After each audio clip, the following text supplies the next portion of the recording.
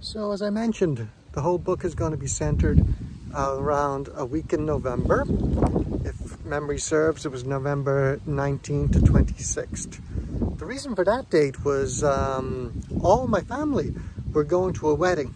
Uh, weddings in Ireland nowadays are held in um, hotels and usually the group book out the whole hotel and everybody gets flutered and can have a wonderful banquet on the first night and then uh, just get totally langered on, on the second night without having to worry about driving somewhere. So it works great. It was also an opportunity for me to surprise them and just show up and see everybody.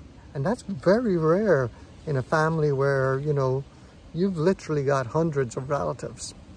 So that chose those dates. The purpose was to go and complete my research.